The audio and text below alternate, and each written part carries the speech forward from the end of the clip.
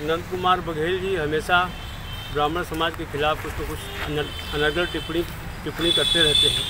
उसके विरोध में हम लोग ये एफआईआर करने के लिए आए क्या मांग है? क्या बात हुई थी?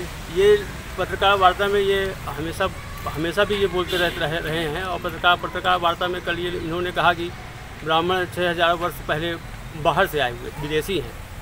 जबकि ये बात किसी कोई साक्ष्य नहीं है उनके पास। अब और ये ये गोरस के विषय में ये अक्सर बोलते हैं गोरस क्या है? इसके विरोध में हम लोग।